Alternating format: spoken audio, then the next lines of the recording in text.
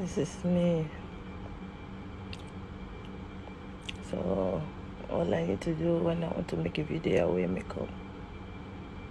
And uh, you can see my hair. And this is you can call if you want to see me properly. So hello and welcome to my channel. So this is an expose done by Gist Lover with the permission of Halima Abubakar regarding her encounter with Pastor Suleiman, how Pastor Suleiman has ruined her life. Halima Abubakar is dying gradually. So this is a story you need to read up and follow up. No, she's dying gradually. She's, there's lots of evidences. You just need to relax and watch until the end. Read along. Years ago, when Alima Abubakar came to Limelight, she met Apostle Suleiman through a friend and he started sleeping with her. So, to Halima, then she had seen a Mugu, a Mugu man sponsoring all her expensive life. Suleiman bought her a house, two cars, and made her travel all over the world. It was during those years Suleiman's church was just coming to limelight. Everybody around Halima envied her then.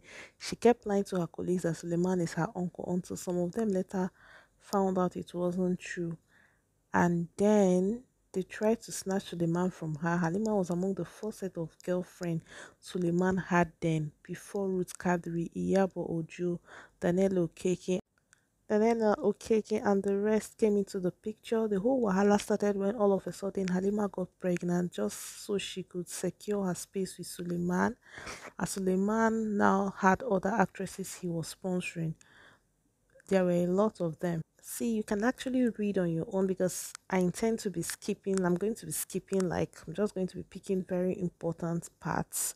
So she told Suleiman she was pregnant. Suleiman told her point blank that he didn't want the baby, that Halima just ruined what he was doing that he wasn't supposed to get a woman pregnant at the time. All Halima's pleas fell on deaf ears as Suleiman was so mad at her and told her to abort it, but she refused. But before we could say Jack Robinson, she started bleeding and lost the pregnancy. So even after the bleeding, you know, after she lost the pregnancy, she kept on bleeding heavily. They took her to so many places. They asked her to beg Suleiman. She begged him. He stopped picking her call. She became lean and some reactions began to appear on her body. And so this is the second part of the story. You can complete. I don't want to read, but you can tell me if you prefer me to read because I'm just trying to, you know, make the video pretty short. So this is the you know this is part of the story it's actually a long expose that has been running for some days on instagram Gist Lover went on to mention a whole lot of people Suleiman is having an affair with, or rather, people he has slept with. Yabojo, Lilian Bach. The list is long and endless, you know. So, this is actually the evidence of um, Halima's chat with Gist Lover. For those of you who do not know Halima, Halima is actually um she's a Nollywood actress. She was born in Kano. She's a Kano lady. This is the evidence of her swollen tummy even though she is not pregnant but her tummy is perpetually bloated. Whenever she wants to make a picture on instagram she edits her pictures but this is what she looks like in real life.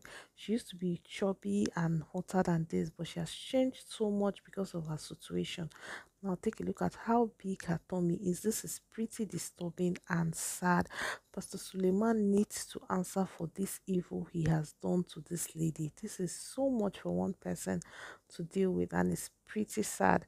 So you can see the whole evidence against this man and I really do hope you know he's brought to justice. Sad that uh, religious leaders in Nigeria are like sacred cows that can't be touched, which is pretty sad. I feel like if a religious leader is, he should be tried.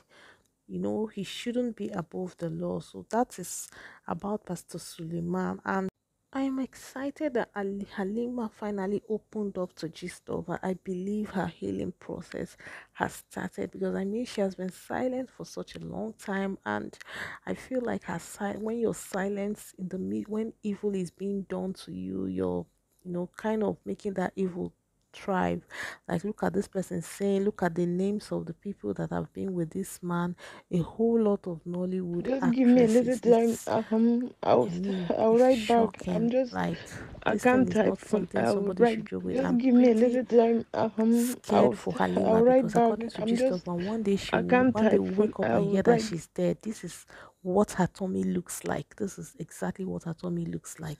And this is how she appears on the gram whenever she wants to take photographs. You know, she takes her time, hides her makeup while she's living in pain. So my opinion now, tell me what you think. I think it's not necessary. Why why has she been living a fake life? Lie that you had a baby, lie that you're happy.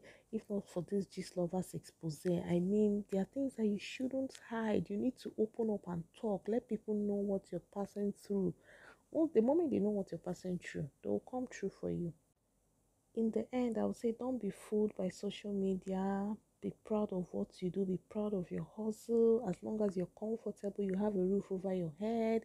You you have enough to have to care for your loved ones. Your loved ones, even if you don't have enough to care for your loved ones. I mean, they can they will be fine. They can sort themselves.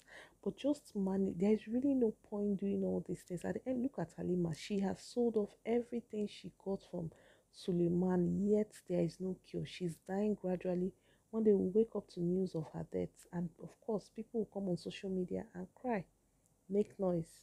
You all know Bobrisky. Bobrisky never misses an opportunity to chase clouds. He came to, you know, blame Gist Lover and for posting Halima's story. And of course, Halima called him out, saying that she hates him so much. She doesn't want to hear anything about. He shouldn't be involved in her business. That after all, he mocked her when she was sick. You see, eh, if cloud chasing does not kill Bobrisky, nothing will kill him in this life. Such a terrible human being.